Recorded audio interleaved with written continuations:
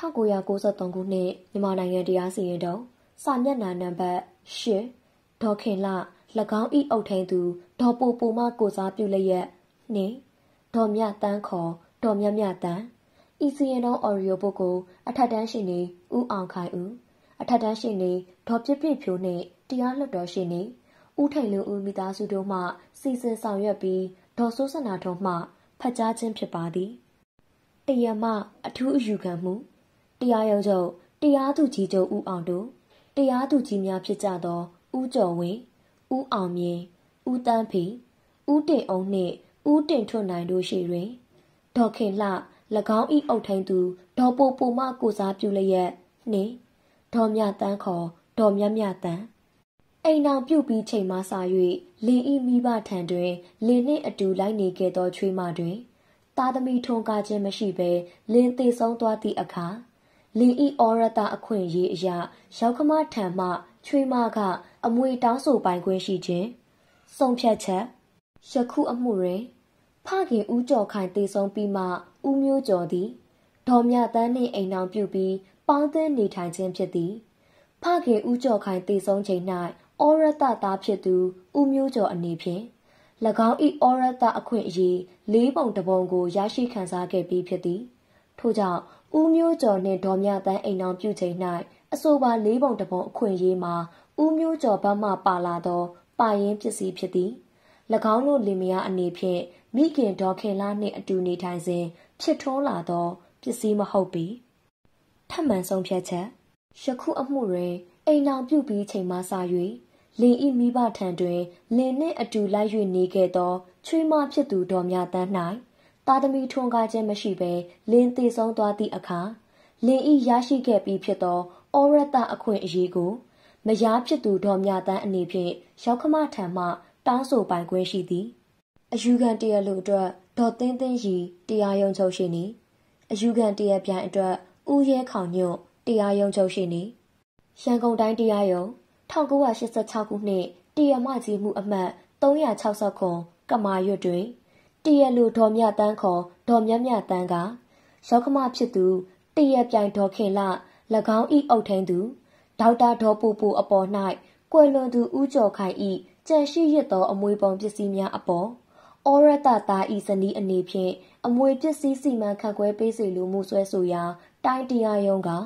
အမွေဝေစု၄ပုံတပုံခွဲဝေပေးရန်ပနာမဒီဂရီချမှတ်သည်ထိုပနာမဒီဂရီကို ဒေါ်ခင်လကတရားရုံးချုပ်သို့ပထမအယူခံမှုအမှတ်212မြင်းဆောင်61အရာဝင်ရောက်သောအခါပလက်ခြင်းခံရသည်တဖန်ဒေါ်ခင်လကတရားစီရင်ရေးဥပဒေပုံမှန်6အရာအထူးအယူခံဝင်ခွင့်ပြုရန်လျှောက်ထားသောအခါအောက်ပါပြဿနာအားစုံညီခုံရုံးဖြင့်ကြားနာဆုံးဖြတ်နိုင်ရန်အတွက်အထူးအယူခံဝင်ခွင့်ပြုခဲ့သောကြောင့်ဤအထူးအယူခံမှုပေါ်ပေါက်လာခြင်းဖြစ်သည် စုံညီခုံရုံးဖြင့်ကြားနာဆုံးဖြတ်ရန်ပြဿနာအိမ်အောင်ပြုတ်ပြီးချိန်မှစ၍လင်ဤမိဖထံတွင် လင်နှင့်အတူလိုက်နေခဲ့သောချွေးမတွင်သားသမီးထွန်းကားခြင်းမရှိဘဲလင်သေးဆုံးသွားသည့်အခါလင်ဤဩရတအခွင့်အရေးအရာရောက်ခမထံမှထိုချွေးမကအမွေတောင်းဆိုခွင့်ရှိမရှိဟု၍ဖြစ်သည် အမှုဖြစ်စဉ်အချင်းချုပ်မှာအောက်ပါအတိုင်းဖြစ်သည်ဗုဒ္ဓဘာသာဝင်မြန်မာလူမျိုးများဖြစ်ကြသော ဦးကျော်ခိုင်နှင့်ဇနီးဒေါ်ခင်လှတို့၌ဦးမျိုးကျော်ဆိုသူတားတယောက်မွေးဖွားသည်ဦးကျော်ခိုင်သည်ရန်ကုန်မြို့ဗဟန်းမြို့နယ်ဝန်ကဘာရိပ်သာလန်အမှတ်6တွင်နေထိုင်ရင်း1989ခုနှစ်17လပိုင်း3ရက်နေ့၌ကွယ်လွန်ခဲ့သည်ဇနီးဒေါ်ခင်လာနှင့်သားဦးမျိုးကျော်တို့ကြံရှိခဲ့သည်ဦးကျော်ခိုင်တည်ဆုံးချိန်၌၎င်း၏သားဦးမျိုးကျော်မှာအသက်42နှစ်အရွယ်ရှိပြီဖြစ်သည် ဦးကျော်ခိုင်တည်ဆုံးပြီးနောက်9လကျော်ခန့်အကြာ1980ခုနှစ်၄လပိုင်း24ရက်နေ့တွင်ဦးမျိုးကျော်သည်ဒေါ်မြတန်းအမှု၌တရလိုနှင့်ဗဟန်းမြို့နယ်တရားရုံး၌လက်ထပ်ကြောင်းဦးမျိုးကျော်ဤမိခင်ဒေါ်ခင်လကိုယ်တိုင်လိုက်၍တောင်းရန်လက်ထပ်ပေးခြင်းဖြစ်ကြောင်းထို့သောလက်ထပ်ပြီးဦးမျိုးကျော်နှင့်ဒေါ်မြတန်းတို့သည်မြန်မာဗုဒ္ဓဘာသာဝင်လင်မယားအဖြစ်အတူပေါင်းသင်းနေထိုင်ကြကြောင်းထို့သောပေါင်းသင်းနေထိုင်ရင်းဦးမျိုးကျော်သည် 1982ခုနှစ်6လပိုင်း15ရက်နေ့တွင် ရန်ကုန်စေးရုံကြီး၌ကွယ်လွန်သွားကြောင်းပေါ်ပေါက်သည်ရန်ကုန်တိုင်းတရားရုံးကသုံးသပ်ရာတွင်ဦးကျော်ခိုင်မှာ1989ခုနှစ်17လပိုင်း3ရက်နေ့၌ကွယ်လွန်ပြီးဦးမျိုးကျော်မှာ1982ခုနှစ်6လပိုင်း15ရက်နေ့၌ကွယ်လွန်သွားကြောင်းဦးကျော်ခိုင်နှင့်ဇနီးဒေါ်ခင်လာတို့၌ဦးမျိုးကျော်မှအပအခြားသားသမီးထွန်းကားခြင်းမရှိကြောင်းတို့ဖြစ်၍ ဦးကျော်ခိုင်ကွယ်လွန်သည့်အချိန်တွင်ဦးမျိုးကျော်သည်ဩရတအရာကိုရရှိပြီးဖြစ်သဖြင့်ဦးမျိုးကျော်အနေနှင့်၎င်း၏ဖခင်ဦးကျော်ခိုင်၏ကြံရှိရသောအမွေပစ္စည်းတွင်လေးပုံတစ်ပုံကို အပီးအပိုင်ရရှိအကျိုးခံစားခဲ့ပြီးဖြစ်ကြောင်းထို့သောအကျိုးခံစား권ရရှိပြီးနောက်မှဦးမျိုးကျော်သည်ဒေါ်မြတန်းနှင့်အိမ်အောင်ပြုခဲ့ခြင်းဖြစ်၍ထိုလေးပုံတစ်ပုံဝေစုမှာဦးမျိုးကျော်ဒေါ်မြတန်းတို့၏အိမ်အောင်သို့ ဦးမျိုးကျော်၏ပါရင်ပစ္စည်းအဖြစ်ပါလာခဲ့ကြောင်း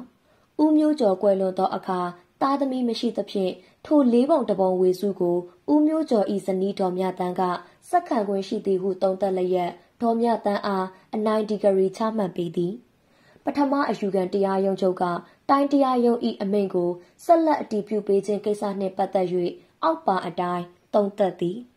အမှု၌ ဦးမျိုးကျော်နှင့်ဒေါ်မြတန်းတို့သည်လင်ဤမိခင်ဖြစ်သူဒေါ်ခင်လားနှင့်အတူနေထိုင်ခြင်းသားသမီးကြံရည်မှုမရှိခြင်းရင်းအချိန်ခင်မွန်းကွယ်လွန်ခြင်းတို့သည် အမှု၌ပေါ်ပေါက်သည်ဖခင်ဖြစ်သူဦးကျော်ခိုင်ကွယ်လွန်ချိန်၌ဦးမျိုးကျော်အနေဖြင့်ရခွင့်ရှိသော ဝေစုလေးပုံတစ်ပုံသည်ဦးမျိုးကျော်မှဒေါ်မြတန်းနှင့်အိမ်တော်ပြုသည့်အခါပါရင်ပစ္စည်းအနေဖြင့်ပါရှိခဲ့ကြောင်းအထက်တွင်သုံးသပ်ခဲ့ပြီးဖြစ်သည် ရှင်းကဲ့သို့ရောက်ခမဒေါ်ခေလာဤလက်ဝဲရှိကွယ်လွန်သူခင်မုန်းဦးမျိုးကျော်ဤပါရင်ပစ္စည်းတွင်ဒေါ်မြတန်းဤအပီးအပိုင်ရရှိသောအကျိုးခံစား권သည်ဆုံးရှုံးမှုမရှိရမြဲရကြောင်းတိုင်းတရားရုံးကကိုးကားခဲ့သောဒေါ်အေးတင်နှင့်ဒေါ်တန်းအမှုစီရင်တုံ၌ထုံးဖွဲ့ထားသဖြင့်တိုင်းတရားရုံးကထိုကဲ့သို့တွေးရှိသုံးသပ်မှုကိုလက်ခံသည်ဟုသုံးသပ်ထားသည်မြည်သည့်အတွက်ကြောင့်အထူးအယူခံဝင်ခွင့်ပြုတင်ကြောင်း တရားရုံးချုပ်မှ အောက်ပါအတိုင်းသုံးသပ်သည်ဤအမှု၌ထူးခြားသည့်အချက်တရရှိနေသည်ရင်းအချက်မှာသားဖြစ်သူဦးမျိုးကျော်သည်ဒေါ်မြတန်းနှင့်အိမ်အောင်ပြုခဲ့တော်လဲအိမ်အောင်တီးခြားခွဲ၍မနေဘဲမိခင်ဤအိမ်တွင်ပင်မိခင်ဒေါ်ခင်လားနှင့်အတူဆက်လက်နေထိုင်ခဲ့သည့်အချက်ဖြစ်သည်ရင်းတို့လင်ဤမိဘထံလိုက်နေသောချွေးမတဦးအနေဖြင့်တာသမီမထွန်းကားပဲတည်သည့်အချိန်တွင် ရောက်ခမနှင့်အမွေခွဲဝေရာ၌ခန်းဝင်ပစ္စည်းကိုသာရခွင့်ရှိကြောင်းနှင့်တေသူလင်ဤအမွေကို တောင်းခံခွင့်မရှိကြောင်းကင်းဝန်မင်းကြီးဦးကောင်းဤ36ဆောင်တွဲအမွေခန်းဓမ္မတက်ကြီးအခန်း19ပုံမှ320ကိုကိုးကား၍ဒေါခင်လှဤအကျိုးဆောင်က တင်ပြလျှောက်လဲသွားသည်ရင်းအချက်နှင့်ဆက်လျင်၍တရားရုံးချုပ်ပထမအယူခံမှုတွင်လည်းဒေါခင်လှရုပ်ဘမှ အလားတူတင်ပြခဲ့တော်လဲတရားရုံးချုပ်က သုံးသက်ဖြည့်ရှင်းခဲ့ခြင်းမရှိပေဟု သုံးသက်ထားသည်အယူခံတရားလူဤရှိနေကလျှောက်လဲရ၌ယခုအမှုတွင်ဦးမျိုးကျော်နှင့်ဒေါ်မြတန်းတို့လင်မယားသည်ဦးမျိုးကျော်၏မိဘများနှင့်အတူနေထိုင်ခဲ့ကြောင်းရင်းကဲ့သို့နေထိုင်ရင်းဦးမျိုးကျော်ကွယ်လွန်သွားကြောင်းဦးမျိုးကျော်ဒေါ်မြတန်းတို့၌သားသမီးမမွေးဖွားသဖြင့်ဒေါ်မြတန်းအနေဖြင့်ဓမ္မသက်အရာအမွေတောင်းပိုင်ခွင့်မရှိကြောင်းကင်းဝန်မင်းကြီးရေးသားသည့်36ဆောင်တွဲအမွေမှုကန် ဓမ္မသက်ကျမ်းကြီးအခန်း19ပုံမှ320အရာယခုအမှုကိစ္စကိုစဉ်းစားဆုံးဖြတ်တင်ကြောင်းတင်ပြလျှောက်လဲသည်အယူခံတရားပြဤရှိနေကခြေပလျှောက်လဲရ၌ဓမ္မတက်များမှာအချိန်ကြာမြင့်ခဲ့ပြီးဖြစ်ကြောင်းမြမတလိထုံတန်းဥပဒေသည်ဓမ္မတက်များထက်ကြီးကြောင်းကျယ်ဝန်းကြောင်းထိုမှုသဘောကိုဒေါ်ကြည်ကြည်နှင့် Miss Mary Wayne အမှုစီရင်ထုံ၌လမ်းညွှန်ဆုံးဖြတ်ပြီးဖြစ်ကြောင်းယခုအမှုတွင် မြမတလိထုံတန်းဥပဒေအရအသားကျပြီးသောလင်းသေးမယားစားဟုသောမူသဘောအမွေသည် အောက်သို့စုံစည်းသည်ဟုသောမူသဘောတို့ကို လိုက်နာကျင့်သုံးသင့်ကြောင်းထို့အပြင်ယခုအမှုကိစ္စ၌ဦးမျိုးကျော်နှင့်ဒေါ်မြတန်းတို့လင်မယားသည်ဦးမျိုးကျော်၏မိဘနှစ်ပါးနှင့်အတူ နေထိုင်ခြင်းမဟုတ်ကြောင်းမိခင်ဖြစ်သူဒေါ်ခင်လာနှင့်အတူ နေခြင်းသာဖြစ်ကြောင်းထိုဝက်ချက်ကိုစဉ်းစားသင့်ကြောင်းတင်ပြလျှောက်လဲသည် ကင်းဝန်မင်းကြီးရေးသားသော36ဆောင်တွဲအမွေမှုကန်ဓမ္မသက်ကျမ်းကြီးအခန်းဆက်ကိုပုံမှ320၌ပါရှိသော ပြဋ္ဌာန်းချက်များမှာအိမ်နောက်ကြပြီးနောက်မိဘနှင့်အတူလိုက်ရည်နေသောချွေးမ